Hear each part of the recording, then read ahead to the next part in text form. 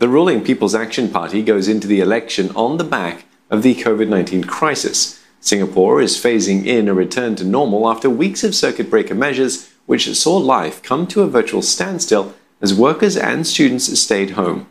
The government has had to dip into past reserves by as much as $52 billion, unprecedented in the country's history.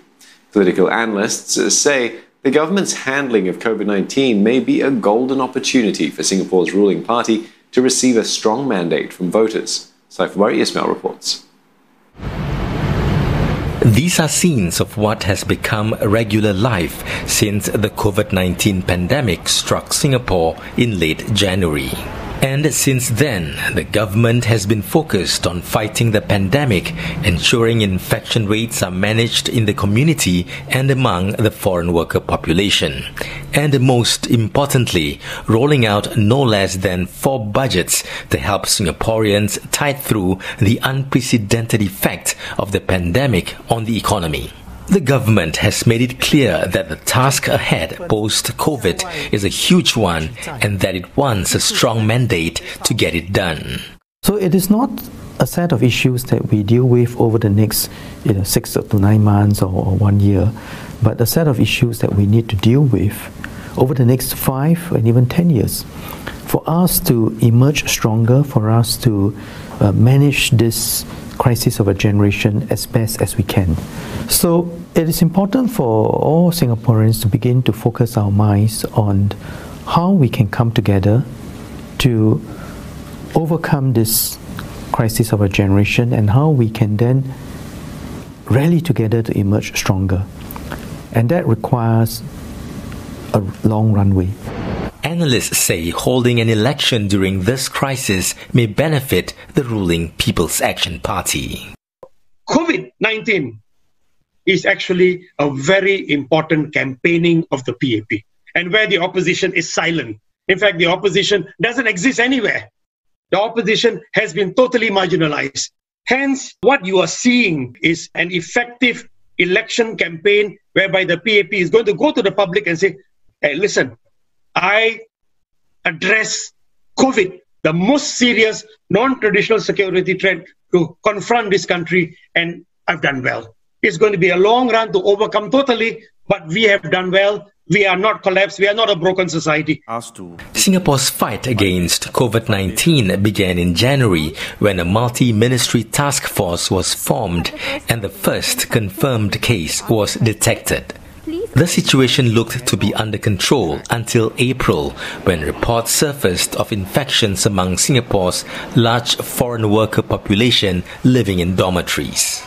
In the days and weeks that followed, the daily infection rate jumped to hundreds as the government tested more and more workers and started segregating healthy and infected workers in an attempt to put a stop to the increasing number of infections. The outbreak in the dormitories brought to the fore the issue of Singapore's dependence on foreign workers.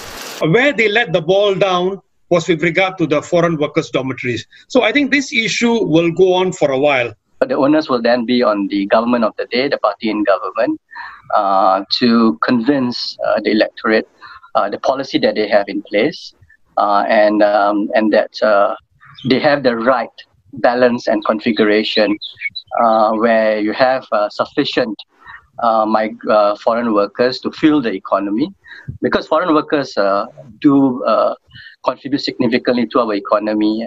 This election will be the first to be held under new laws passed in May, allowing for special temporary arrangements for election activities.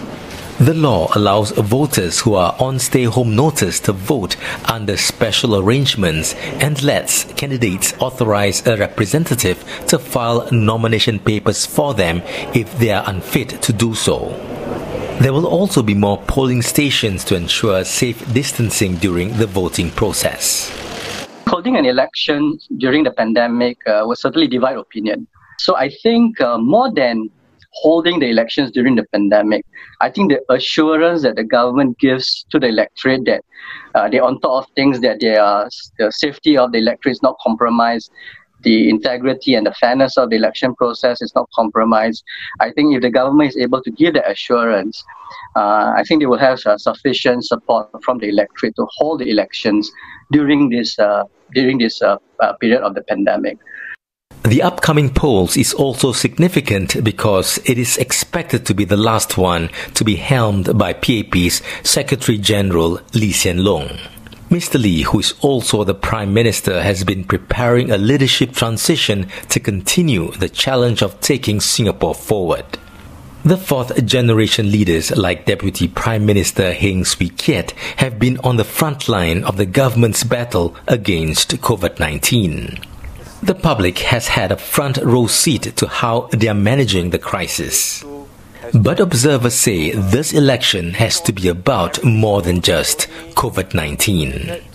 It's still about presenting to Singapore a new leadership transition that's taking in place. It's still about talking to Singaporeans about what are the necessary uh, reforms that we have to carry out for the future prosperity of Singapore. This cannot be a referendum on how PAP has done during COVID. This is about elections, choosing the best team to lead Singapore into the future. That's the issue. Defeating COVID 19 is just half the battle won. The next government will face a bigger challenge to revive a battered economy in the middle of a looming recession, the worst since independence.